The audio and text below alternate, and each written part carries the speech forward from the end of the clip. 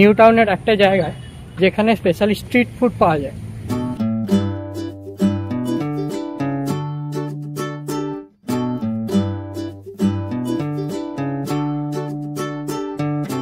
কলকাতায় বড় বড় রেস্তোরাঁ ছাড়াও যেসব অলিতে গলিতে যে স্ট্রিট ফুডগুলো রয়েছে, সেই স্ট্রিট ফুডগুলোর স্বাদ এবং পকেট ফ্রেন্ডলি যে প্রাইস সেগুলো নিঃসন্দেহে হার মানাতে পারে যে কোনো বড় রেস্তোরাঁকে আর সেই সব স্ট্রিট ফুড যদি পাওয়া যায় কোনো একটা ভালো অ্যাম্বিয়েন্সে তো সেটা দারুণ হয়। তো আজকে আমি যাচ্ছি নিউ টাউনের একটা জায়গায়, যেখানে স্পেশালি স্ট্রিট ফুড পাওয়া যায়। চলুন, ওখানেই যাওয়া যাক। এই মুহূর্তে আমি আছি কলকাতার ইকো পার্কের দু নম্বর গেটের খুব কাছে। এই দু নম্বর গেট দিয়ে যাতায়াত করার সময় প্রায় দেখতে পাই তার অপোজিটে একটা ট্রাম দাঁড়িয়ে আছে। যেই ট্রামের ডেস্টিনেশন আমি জানি না বাট সেই ট্রামটার নাম হচ্ছে কলকাতা স্ট্রিট ফুড। এই ট্রাম হয়তো এসপ্ল্যানেট যায় না বা শ্যামবাজার যায় না। এই যা, এইখানেই দাঁড়িয়ে থাকে। ঠিক ইকো পার্কের দু নম্বর গেটের অপোজিটে মাদার ওয়াক্স মিউজিয়াম, তার ঠিক নিচে। সেই ট্রামের ভেতরে আছে শুধু খাবার, কলকাতা স্ট্রিট ফুডের সমস্ত খাবার। এই খাবারের সন্ধান পেয়েই আজ আমি যাচ্ছি কলকাতা স্ট্রিট ফুড ট্রামের ভেতরে। চলুন দেখা যাক ওই ট্রামের মধ্যে কী কী স্ট্রিট ফুড পাওয়া যায়।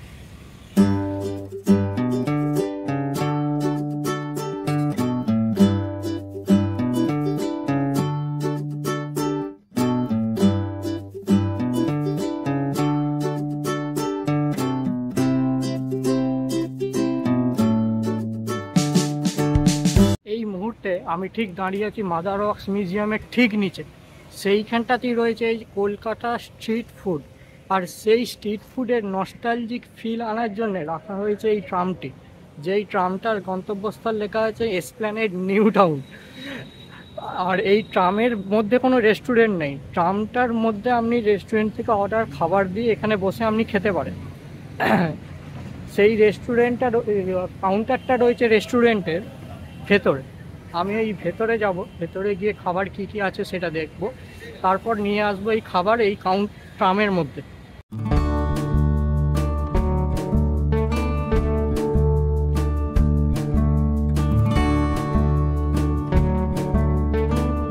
এই ট্রামটার ঠিক পিছনেই, এখানে রয়েছে কলকাতা স্ট্রিট ফুডের কাউন্টার। যেখানে আপনি এখানে বসেও খেতে পারবেন প্লাস ট্রামের মধ্যে বসেও খেতে পারবেন। এটা একটা ছোট্ট মতো ক্যাফে। যেই ক্যাফেটার মধ্যে আপনি সেম খাবারই পাবেন, যেটা আপনি লাইক দ্য ট্রামের মধ্যে বসে অর্ডার করতে পারবেন। এখানে কফি ক্যাপিচুনো স্ন্যাক্স সমস্ত কিছু এই কলকাতা স্ট্রিট ফুডের এই ক্যাফেটার মধ্যে পাবেন।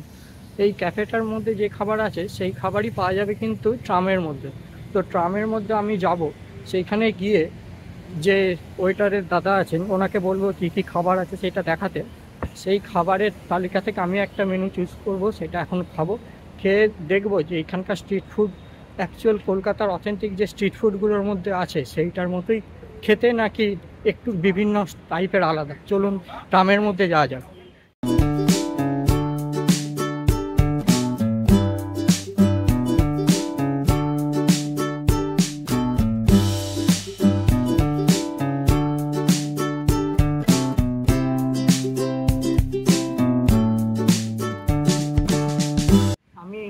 আছি ট্রামের ভেতরে? ট্রামের মধ্যে বসেই আমি একটু মেনু কার্ডটা একবার চোখ বুলিয়ে নিলাম। সেই মেনু কার্ডের মধ্যে আমি বেছে নিলাম দুটো আইটেম যে দুটো হচ্ছে, একটা হচ্ছে ফিশ ফ্রাই আর একটা হচ্ছে ডাব আইসক্রিম এই ফিশ ফ্রাইয়ের প্রাইস হচ্ছে একশো উনআশি টাকা।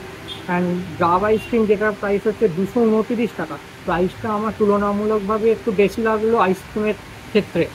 ফিশ ফ্রাইয়ের ক্ষেত্রে ঠিক আছে। মানা যায় যে মাছের কিলে ভালো থাকবে, কিন্তু আইসক্রিমটা টোটালি একটু বেশি লাগল। দেখা যাক খেয়ে কেমন হয়।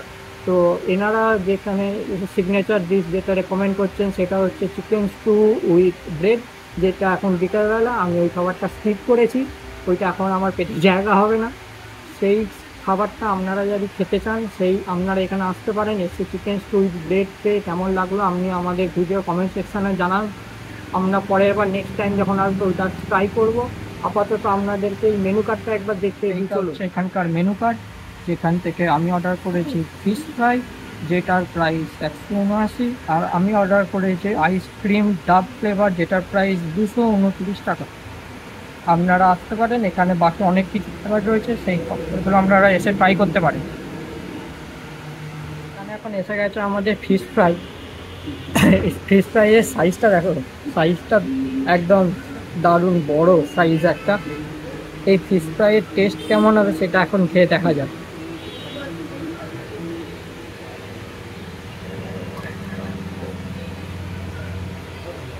দেখো, পুরো, পুরোটা মাছ, পুরোটা মাছের পুরো পুরো ফিলে দেওয়া আছে ভেতরটায়।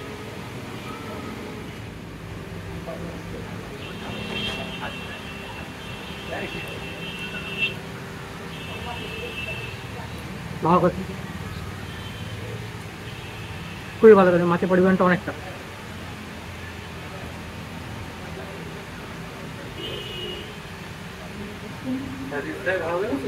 দারুণ। ভালো আছে, মাছটা অনেকটা আছে, এটা একটু পজিটিভ পয়েন্ট বেশ ভালো খেতে মাছের পরিমাণটা অনেক বেশি, অনেক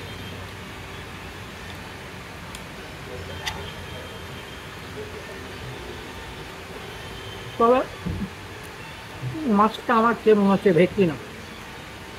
মাছটা বাসা মাছ, মাছটা পিওর। ভেটকি যে মাছটা হয়, তার টেস্ট আলাদা। হয় এটা ভেটকি মাছ একদমই নয়। আমি খেয়ে এটা বুঝতে পারছি, ভেটকি নয়, এটা বাসা মাছ দিয়ে তৈরি। তবে খেতে ভালো। আপনারা এসে ট্রাই করতে পারেন। ভালো।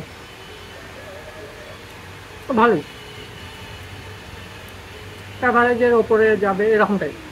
ভালো। মাছের পরিমাণটা অনেকটাই বেশি।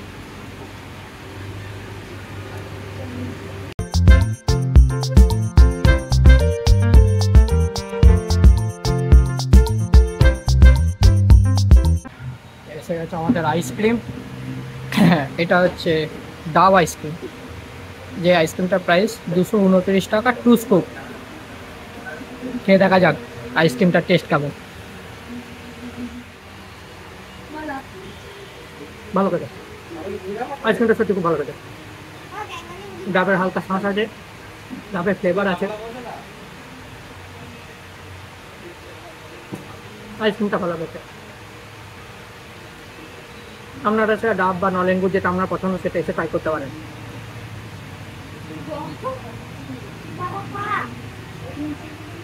আমার বেসিক্যালি আইসক্রিম সব আইসক্রিম ভালো লাগে।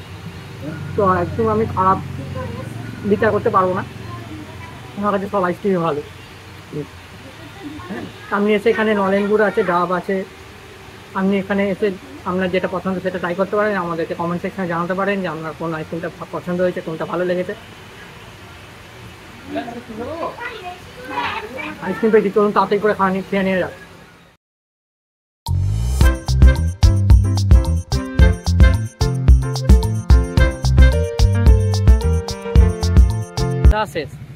খাওয়া দাওয়া আমার মোটামুটি লেগেছে অ্যাভারেজ অ্যাভারেজ লেগেছে একদম বিশাল কিছু নয়। আমি আপনাদেরকে বিলটা দেখানোর চেষ্টা করছি, আমার হাতে বিলটা এখন এসে গেছে। বিলটা আমি দেখাচ্ছি, কীরকম প্রাইসের ধরেছেন। দেখো, এখানে বিল ধরেছে ফিশ ফ্রাইয়ের প্রাইস বলেছিলাম একশো উনআশি একশো উনআশি আইসক্রিম দুশো উনতিরিশ, দুশো উনতিরিশই নিয়েছে প্লাস জিএসটি আছে ফাইভ পার্সেন্ট করে, কুড়ি টাকা করে জিএসটি দুটো আইটেমের দুটো টোটাল বিল হয়েছে চারশো আঠাশ টাকা। তো চারশো আঠাশ টাকা আমি পে করলাম এই দুটো আইটেমের জন্য। আপনাদেরকে রিভিউটা আমি দিচ্ছি। চলুন ঘরের দিকে ফেরা যাক, ফিরতে ফিরতে আমি বলছি খাবারের দাবার কেমন ছিল। যাওয়া যাক।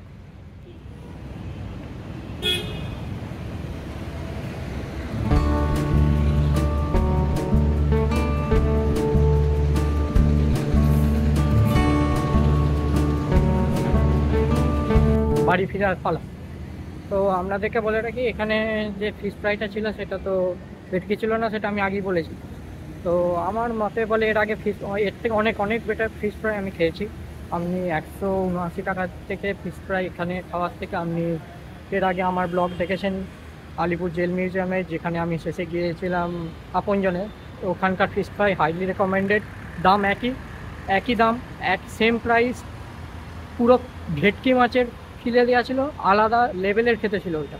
তাছাড়া আপনি টেস্ট করতে পারেন, এখানে মিত্র ক্যাফে আছে, এখন নিউ টাউনেও মিত্র ক্যাফে আছে, মিত্র ক্যাফে টেস্ট করতে পারেন, সেখানেও ভেটকি মাছের ফিলে পাবেন। আমি এইটা রেকমেন্ড অতটা করব না এখানে। ভেটকি মাছ দেওয়া হচ্ছে না, এই প্রাইসটাও নেওয়া হচ্ছে সেম একশো আশি টাকাই। আমি এটা রেকমেন্ড করতে পারব না, কারণ এখানে ফিশ ফ্রাইটা অ্যাভারেজ বাসা মাছের ফিশ ফ্রাই আমার খেয়ে ভালো লাগে না। নর্মাল লেগেছে। তো আপনাদের কোনো দিন ইচ্ছা করলে আপনারা এখানে আসতে পারেন। পিকো এটা হচ্ছে লোকেশনটা হচ্ছে পিকো পার্ক দু নম্বর গেট তার ঠিক অপোজিট মাদার অক্স মিউজিয়াম তার ঠিক নিচেতেই আছে এই টাউনটা আমি ম্যাপে ডেসক্রিপশানে লিঙ্কটা দিয়ে দেবো।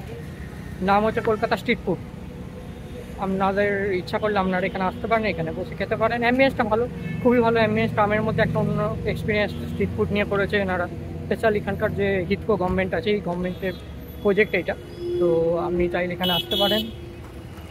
চলুন, আর আজকে যদি আমার ভিডিওটা ভালো লেগে থাকে, তাহলে আপনি অবশ্যই ফলো করুন দি আউটডোর ইন আমাদের চ্যানেল এবং বেশি করে কমেন্ট করুন, বেশি করে শেয়ার করুন লাইক করুন। চলুন, এখন ঘরের দিকে ফেরা